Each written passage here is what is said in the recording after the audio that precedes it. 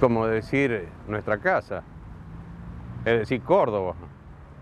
Es, del país, es Argentina. es muy sencillo, es parte nuestra. Recuperarla es lo que nos correspondía.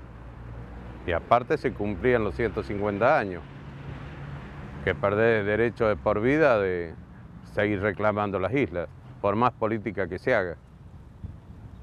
Ese, por lo menos yo desde que iba al, primario me enseñaron que Malvina era Argentina. Diplomáticamente jamás se va a recuperar, porque Malvina no la quieren los ingleses por el petróleo que dicen, por otras cosas. Es un punto estratégico militar, nada más. Estados Unidos tiene el norte, Inglaterra tiene el sur, cruce los dos océanos. Eso ellos lo ven a futuro, ellos no, no buscan ganancias de, riqueza que salgan. Y después tenemos el, próximo problema que lo vamos a tener, que va a ser muy pronto, que es el agua potable, que están los, los hielos continentales. Eso es una próxima guerra que se viene o nos quiten en medio país. Mira, me duele a veces decirlo, pero muy, muy poco el sentimiento patriótico se ve. Lamentablemente se ha perdido mucho el sentimiento patriótico. Eh, hay muchas cosas que a mí no, personales, yo les digo, personalmente no me gusta, se le enseñan cosas que no, no, no lo veo siendo cosas patrióticas a los, a los argentinos, la nueva generación, muy, muy mucho sí, pero hay una parte que está muy distorsionada la historia. La historia es una sola y hay que saber. A mí me enseñaron de chico la bandera, respetarla, amarla y, hasta el día de hoy lo sigo siendo.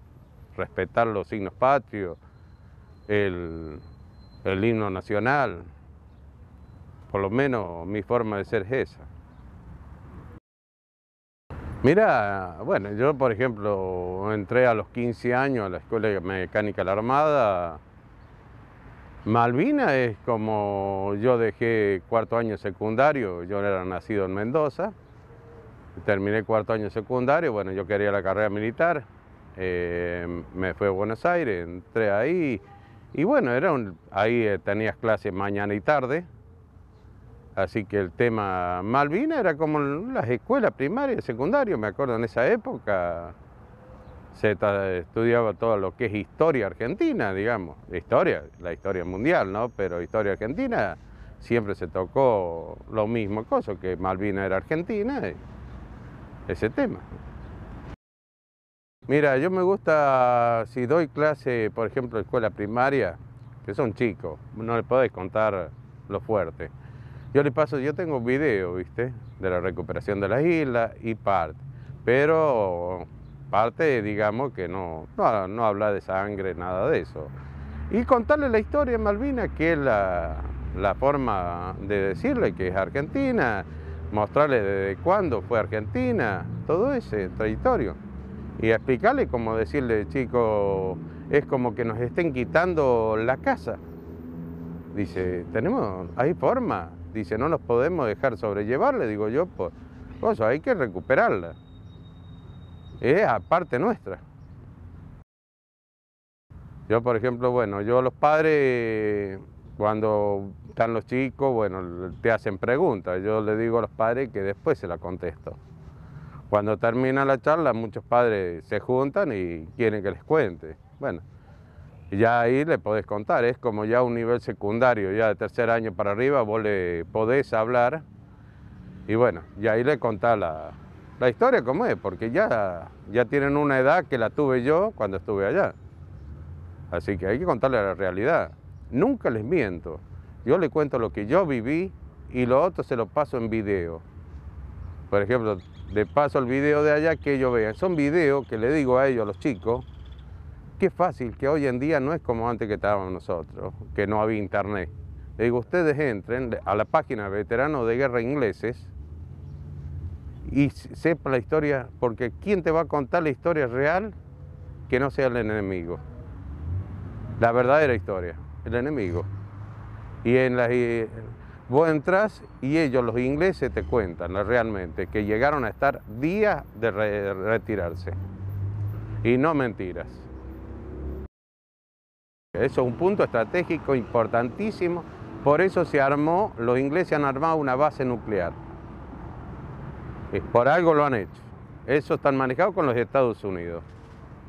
Después lo otro, sí, tenemos que... Ayer estamos perdiendo toda la riqueza argentina. El mar argentino tiene la riqueza en una de las partes más grandes del mundo. Resulta que la estamos perdiendo porque se nos han venido eh, buques chinos, españoles, eh, de todas, a llevarnos la riqueza.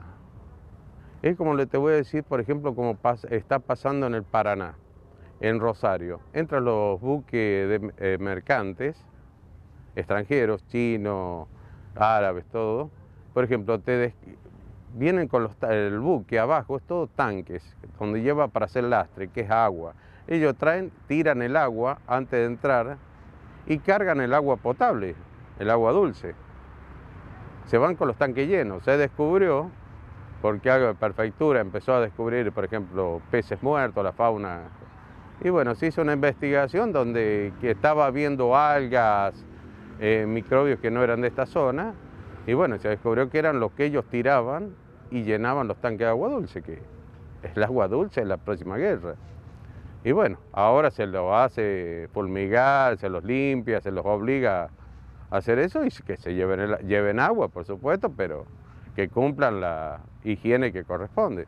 Un caso de que yo estuve embarcado en un buque Cándido La Sala, que era la Segunda Guerra Mundial. Eh, nos, nos, mandan a la altura de Puerto Madryn, a seguir habían dos pesqueros rusos y no había forma, claro. La tecnología de ellos con la nuestra bueno, hasta que pudo el comandante darle aviso de disparar con los cañones a proa y a popa, no al buque, para detener. Cuando nos llevan, tuvimos que bajar a una dotación, ir hasta el buque, encontramos que hasta había toninas. Ellos llevan todo, destruyen todo. Las toninas es un delfín. Ellos no les importa, lo que tiran la red, sacan y llevan. Y tener la factoría ahí en el barco. Nos están llevando todo, toda la riqueza. Hay que poner mano firme, si no, bueno, la riqueza se va a terminar.